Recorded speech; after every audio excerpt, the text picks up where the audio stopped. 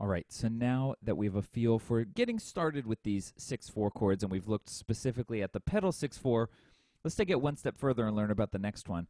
Uh, this is going to be called the passing 6 4 chord. And again, it just like the pedal 6 4, it's going to highlight a sort of important. Um, an important motion in music, an important gesture almost, right? We talked about pedaling being sort of this important idea where we can just stay on one chord effectively by moving through a chord that's kind of not it, but also kind of it. Little little unclear there. The passing six four is going to highlight what we call passing motion in music, and so we're going to look at that again. Knowing the names of these is really really critical, and it helps us to to sort of have clarity in understanding everything that's going on. So here's the passing six four. I promise the third one won't start with a P. It'd be easier if all three of them had different names, but instead it's pedal passing, and then maybe the last one's passive aggressive or something. No, it starts with something other than a P. So, when we talk about passing in music or passing motion, we're really looking at something that's moving between two things. And so we can think of passing as a chord that moves in between two things, but also very simply we would think of we would call this passing motion. Play it up here. Where we're, we're basically going from this note up to that note, we're moving a third, and we pass through the middle note. Ba da da. That's a note that passes between these notes. Da da da. And so this chord, the passing 6 4 chord, is going to share that same foundation. It's going to be about passing through these things. Now, when we're just talking about notes, we can sort of just say, yeah, it's a note that fits the space of a third. Boom, done. With the chord here, though, we have to get a little more specific. And so we're going to say that the passing 6 4 is a chord that's in second inversion, of course. It's a 6 4 chord that moves between or passes between two chords that are going to share the same function. Now, we've talked about all these different functions. I'm going to make that even more simple, though. We're going to say that it, generally speaking, is going to pass between two inversions of the same exact chord.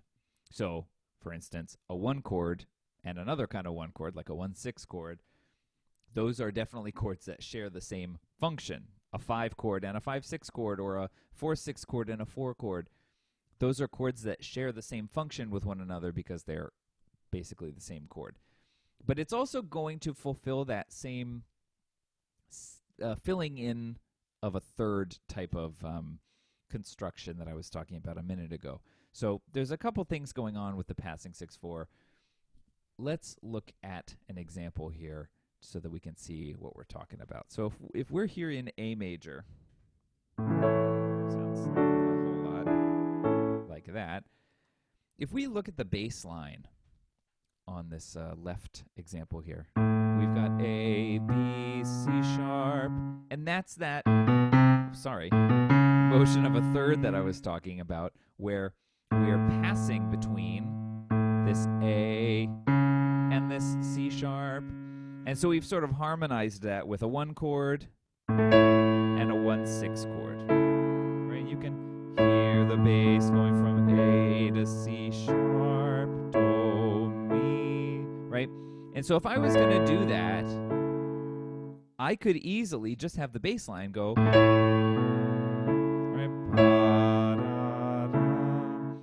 and not really need to put a chord with it.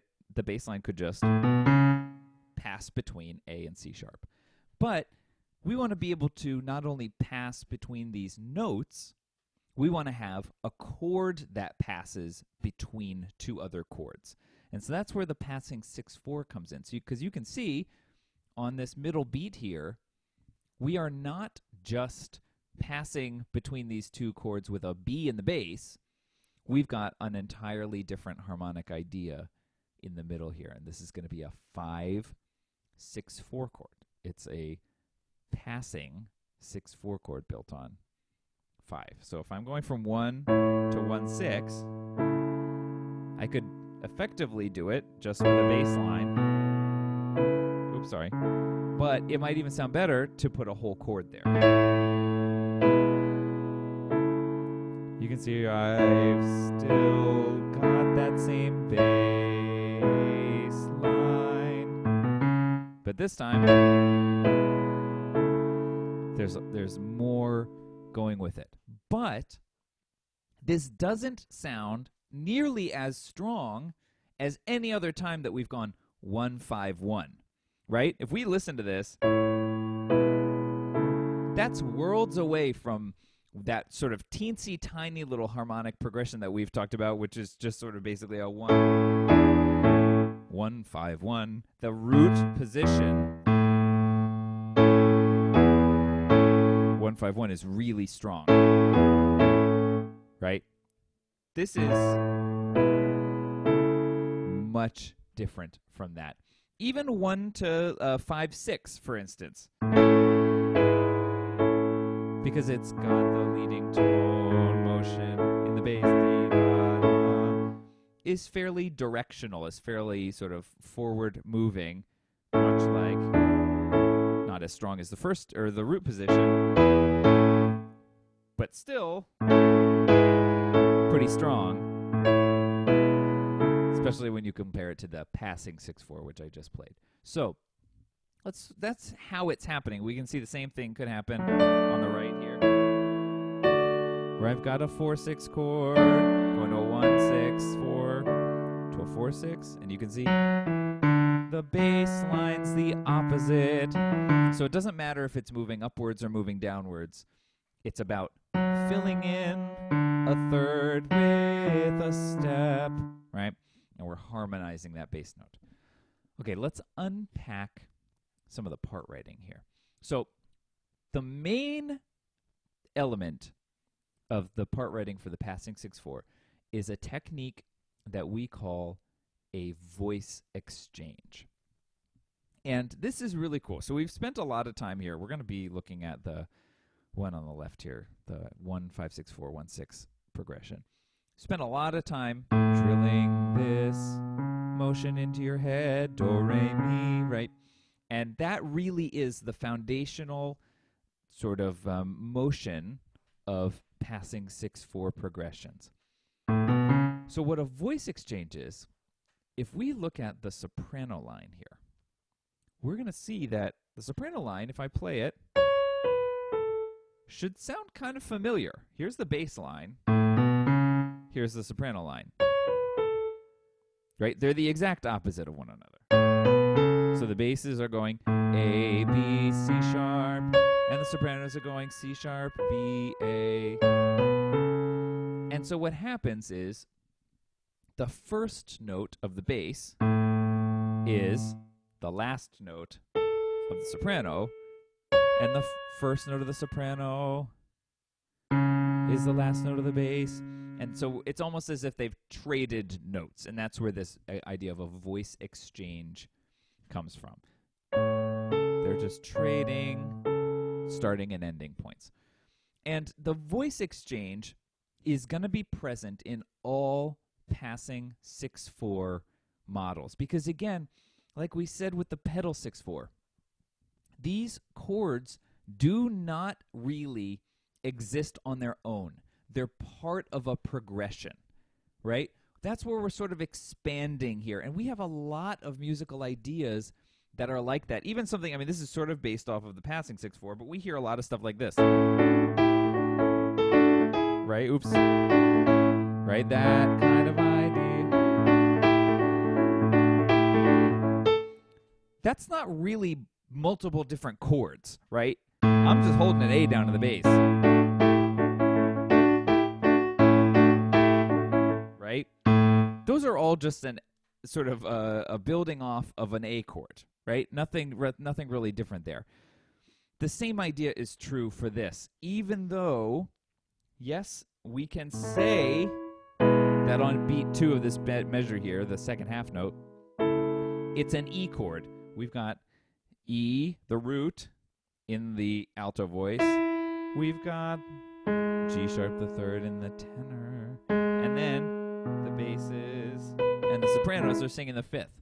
So, yes, it's an E chord, but the 6 4 part of it really, really, really weakens that.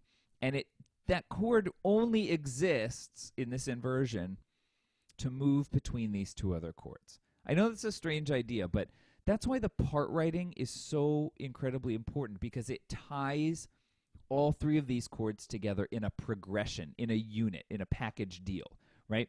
So the voice exchange is really, really, really important and helps it to feel like a cohesive progression rather than just kind of this one off chord. So if we look over here at the one where the bass is going F sharp, E, D, we can look to another voice. In this case, it's the alto voice, and see instead of F sharp, E, D, we've got D, E, F sharp. So it does not need to always happen in the soprano, but it'll be the bass and somebody. So let's do this one.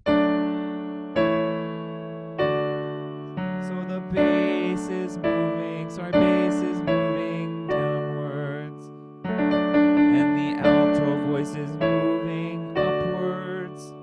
Voice exchange, da da da, voice exchange. Right? So it doesn't have to be in the sopranos, it's the basses and somebody else. The basses, let's be honest, basses are just looking for somebody to voice exchange with. We can just come out and say it. Come on. So that's the real, real central idea, and I hope I hope this sort of makes sense. The way that it ties the whole unit together as a cohesive package, as a progression, not just a series of single chords. So the voice exchange takes care of two of the four voices, but now we have to figure out what the other two voices are doing with this really, really lovely uh, sort of part writing starting point. So we know we've got our voice exchange that's covering two of the voices. What are the others doing? Well, anytime something interesting is happening, and we're going to say the voice exchange is pretty interesting, you should expect somebody to be doing a common tone. And in this case, on the left, it's the alto voice staying on a common tone, while on the backwards progression over here for moving downwards, it's the tenors who are hanging out. So let's go back to the first one here on A and listen for that alto voice. They're singing E.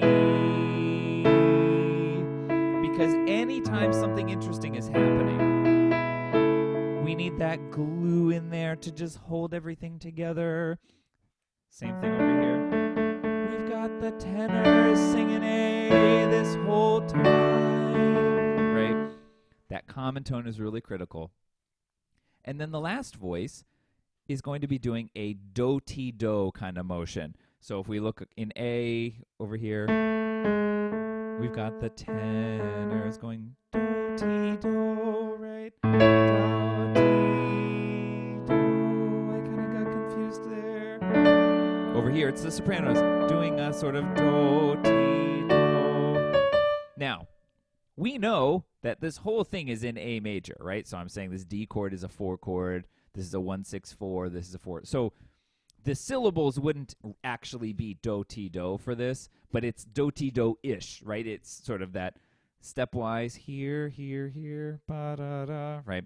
So that's why I put it in parentheses. It's not really always going to be the notes do ti do, but it's going to resemble do ti do. Okay, so I know that might be a little funky, but those are the four things that make up each of the the voices sort of job in the passing 6-4. So two of them are going to be in a voice exchange, which will be the bass and someone else. Then there will be one common tone and one do ti do motion. And that's the part writing for the passing 6-4. So again, the idea here you know, we've got these techniques that that can produce what we're looking for, but the big sort of conceptual idea is how this chord exists only as part of a progression.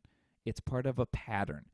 And that's because it's a weak harmonic idea that needs the context of these other harmonies to really make any sense because it's kind of dissonant with that fourth, right? It's weak harmonically, it doesn't really have much directionality. It's all there to support the two other chords on the outside, just like the pedal 6 4. So let's take those ideas and see what we get with the third and most complicated of these uh, these ideas.